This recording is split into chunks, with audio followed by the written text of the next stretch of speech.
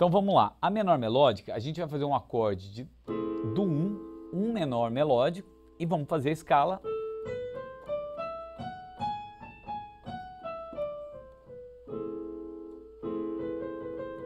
Você pode ver que a tônica não é uma nota boa de tocar.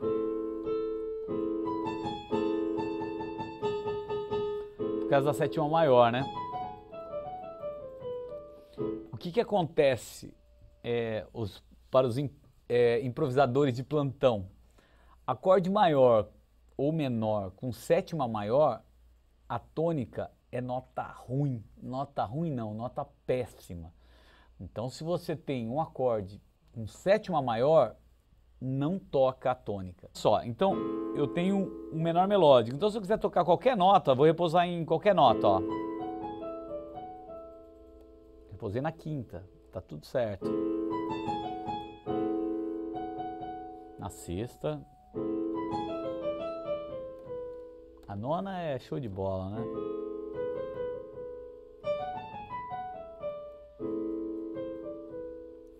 Então, essa é a menor melódica. Então, eu estou tocando o quê? Um acorde, que é um acorde menor com sétima maior, e tocando a menor melódica.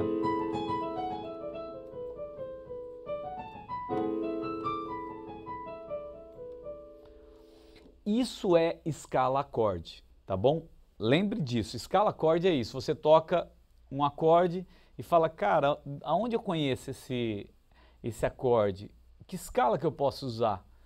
Então o legal é sempre você ter várias escalas para um tipo de acorde. Então vai, vai guardando no seu arsenal aí as escalas que você sabe. Então, quando aparecer um acorde menor com sétima maior, agora você sabe uma escala, que ela chama menor melódica. Beleza? Vamos para outra agora. Dórico bemol 2. Olha só, Dórico bemol 2, cara. Dórico bemol 2, se você tem um Si menor, o que, que é mais legal, um Dórico ou um Dórico bemol 2? Eu posso falar o que eu acho? bom, Dórico é muito bom, beleza? Dórico é sempre show de bola. Então, é, a minha sugestão é, em vez do dórico bemol 2 e o dórico, usa o dórico. Então, essa é uma escala da menor melódica que eu não uso muito, bastante gente não usa, mas ela existe. Então, se você quiser um dia usar ela, né, vamos tentar ouvir o som dela?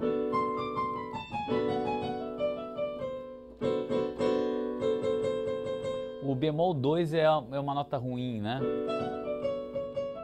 Agora eu vou fazer o dórico, ó. Eu estou fazendo uma outra escala, tá? Agora eu vou fazer o dórico bemol 2.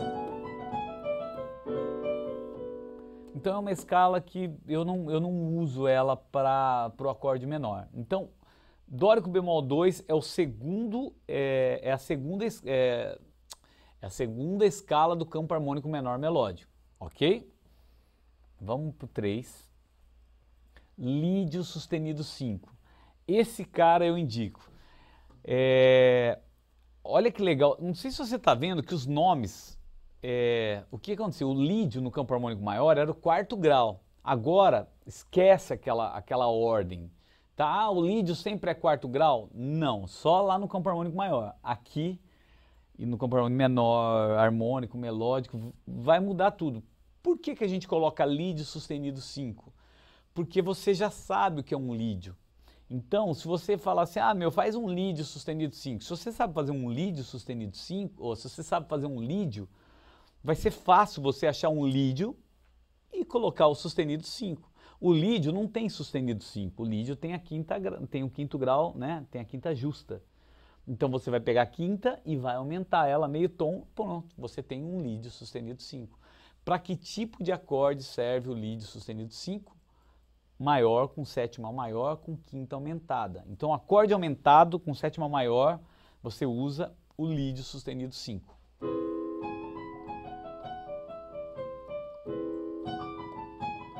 Olha só, olha que legal. Eu dei uma dica, pra, acabei de dar uma dica para vocês, falando que quando tem acorde com sétima maior, que nota que você tem que não tocar a tônica. Então, meu, maior com sétima maior, não toca a tônica, ó.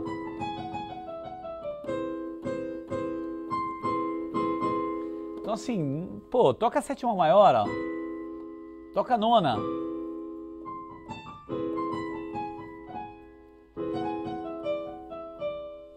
Então, é, é, olha só, esse tipo de acorde é maior com sétima maior e quinta aumentada. Que escala que nós vamos usar? Lídio sustenido 5. Beleza? Então vamos lá. Então a gente já falou da menor melódica, do dórico bemol 2 e agora lídio sustenido 5. Olha só, o lídio sustenido 5 é o terceiro grau da menor melódica. Olha só, hoje é só menor melódica, hein?